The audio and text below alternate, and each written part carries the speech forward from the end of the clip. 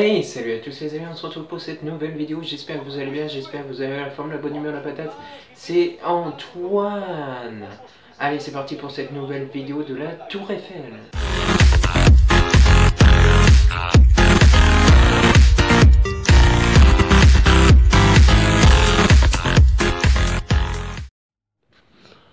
Les amis, donc je vais vous raconter un petit peu l'histoire de la Tour Eiffel. Donc initialement, Gustave Eiffel avait prévu 12 mois de travaux. En réalité, il faudra en compter le double.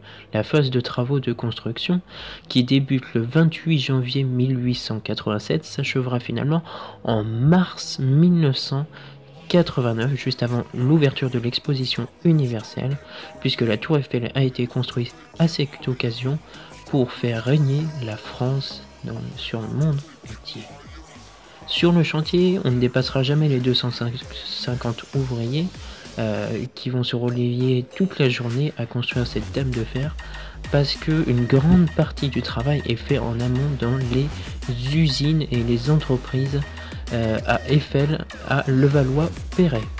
Ainsi, sur les 2 500 000 rivets que compte la tour, seulement 1 50 846 ont été posés sur le chantier ce qui fait un peu moins de la moitié.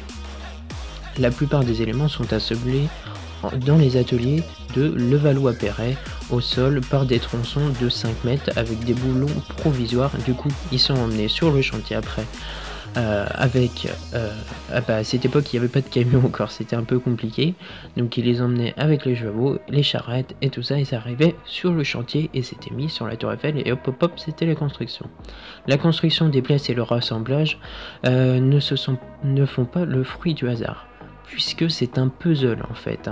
50 hein. ingénieurs exécutent pendant les deux ans de travaux 5300 dessins pour l'assemblage des pièces et chacune des 18 038 pièces, vous vous rendez compte, 18 038 pièces, c'est énorme en fer que, possédait la tour, possède la tour Eiffel, a donc son schéma descriptif.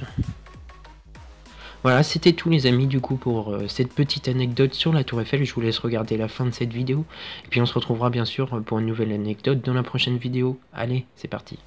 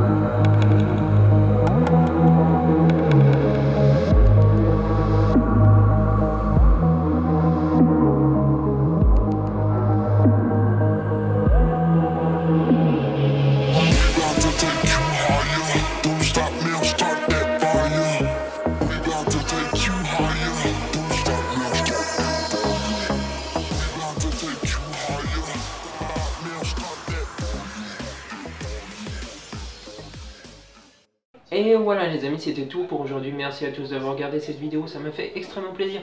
On se retrouve pour une prochaine vidéo de la Tour Eiffel dans deux semaines. Et voilà, on se retrouve la semaine prochaine pour une nouvelle vidéo. N'hésitez pas à mettre un petit like, à vous abonner à la chaîne.